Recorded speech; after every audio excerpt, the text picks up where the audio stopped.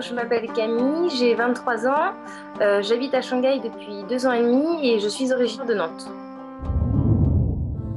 Moi, j'en avais un petit peu marre de Nantes et j'avais envie de découvrir ailleurs, donc j'ai pris la décision de partir euh, finir mon master en design graphique. Et euh, suite à mes stages, j'ai été embauchée, donc là, j'entame ma troisième année.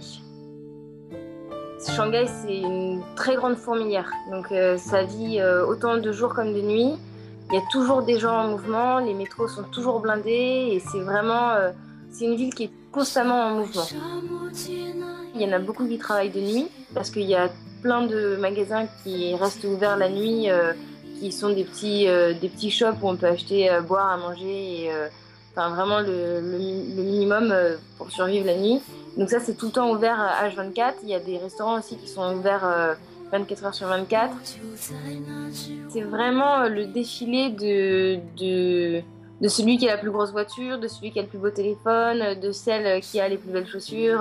En fait, ça dépend vraiment de là où on va, mais euh, c'est quand même une société parfois qui est très consommatrice et très matérielle et euh, ils aiment bien montrer qu'ils ont de l'argent et, et, en même temps, c'est comme ça que qu'ils se différencient, enfin que selon eux, ils se différencient des autres. Donc il y a tout ce côté un peu paillettes, facettes, euh, avec des très grands restaurants, des très grands clubs, de, enfin des très grandes, des, grosses boîtes de nuit, etc. Et à côté de ça, euh, il suffit de, prendre son vélo et de, de faire euh, un quart d'heure de vélo et on se retrouve dans des quartiers où là c'est vraiment, on a vraiment le sentiment d'être en Chine. On, on, tombe sur des petits boubouis qui vendent des petits dumplings ou alors des pâtes. Enfin, il y a vraiment des aspects complètement différents et même opposés. Et c'est aussi ça qui est très intéressant euh, quand on est à Shanghai. Du coup, je voudrais faire un gros coucou à ma famille de France euh, qui me manque beaucoup et à qui je pense euh, souvent.